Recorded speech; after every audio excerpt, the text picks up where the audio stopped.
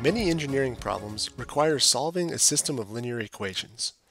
These types of systems can be solved more efficiently if expressed in compact matrix form.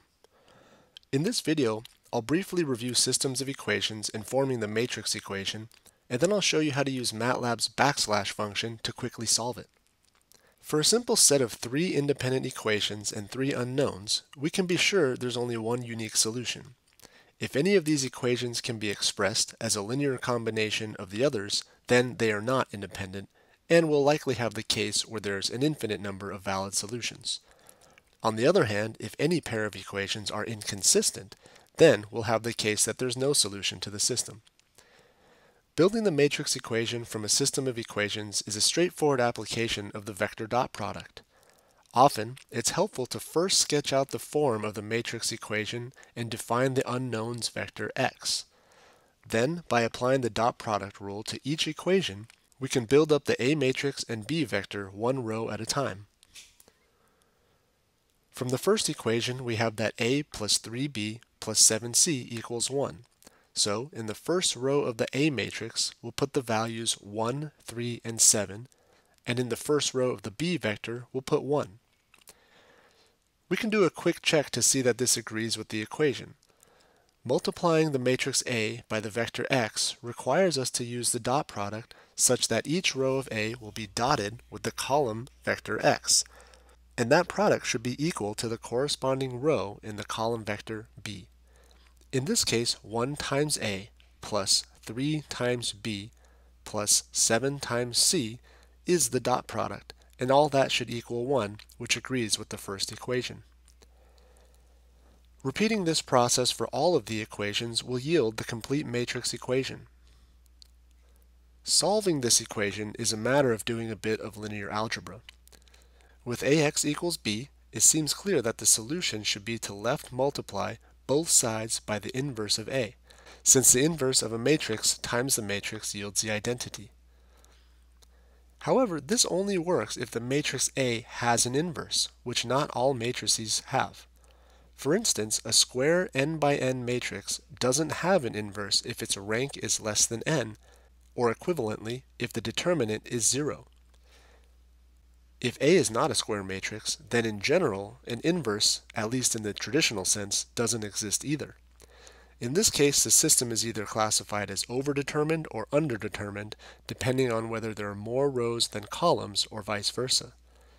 Solving problems like these can be tricky and require a working understanding of linear algebra. Fortunately, the backslash function in MATLAB alleviates some of these issues as it's a robust solution to the problem of varying matrix classifications. For example, if A is invertible and square, then the solution x equals a backslash b is essentially the same thing as left multiplying by the inverse of a. It will even warn you if the matrix is close to being singular, in other words, if the determinant is close to zero. If a is rectangular, the backslash function will work out the solution in the least squares sense, whether it's overdetermined or under.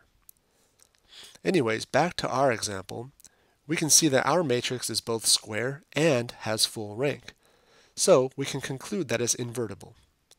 Applying the backslash function allows us to solve for the vector x, which contains all of the unknown variables. By our definition, the vector x contains the variables a, b, and c, so a equals 0.6, b and c are both equal to 0.04. The concept of systems of equations appears frequently in engineering. A classic example is analyzing a simple statically determinate truss.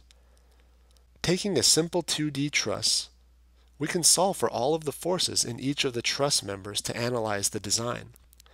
One way to do this is to use the method of joints, which simply has you do a force balance at each joint. For a statically determinate truss, you can extract as many equations as there are unknowns and easily solve the system of equations using MATLAB. Let's see how to do this for a simple truss. A simple truss assumes that each beam is a two-force member, which means it can only be in tension or compression. It also assumes that each joint is held together by a frictionless pin. The support at point A is called a pinned support, which means it can provide reaction forces in the horizontal and vertical directions, whereas the support SC is called a roller support, meaning it can only provide reaction forces in a direction normal to its support surface. We'll analyze this truss by doing a force balance at each joint, starting with joint A. This is a pinned support, so we need to include the reaction forces in both the horizontal and vertical directions. Additionally, we sketch arrows representing the forces in the members AB and AC. It's smart to always draw the arrows away from the joint as a convention. This keeps all of your force diagrams consistent. Then, once we solve for each force, a positive value indicates that the member is indeed in tension, while a negative value indicates the member is actually in compression. At this point, we'll set a convention for the positive horizontal and vertical directions and set up our force equations. The sum of forces in the x direction should sum to equal 0, and the sum of the forces in the y direction should sum to equal 0, since this is a static element and not accelerating. Performing a force balance at point A yields two equations that we can use to analyze a truss. Applying this method to all three of the joints yields six equations. Then, just as before, we can build the matrix equation by first defining our unknowns matrix X, and then building the A matrix and B vector row by row. Once we're finished completing the matrix equation, we can let MATLAB handle the computations by using the backslash function to return the solution to the unknowns vector x, which contains all six unknowns. We can easily verify that the A matrix is full rank by either using the rank function to see if the matrix has a rank 6, or the determinant function to see if the determinant is non-zero.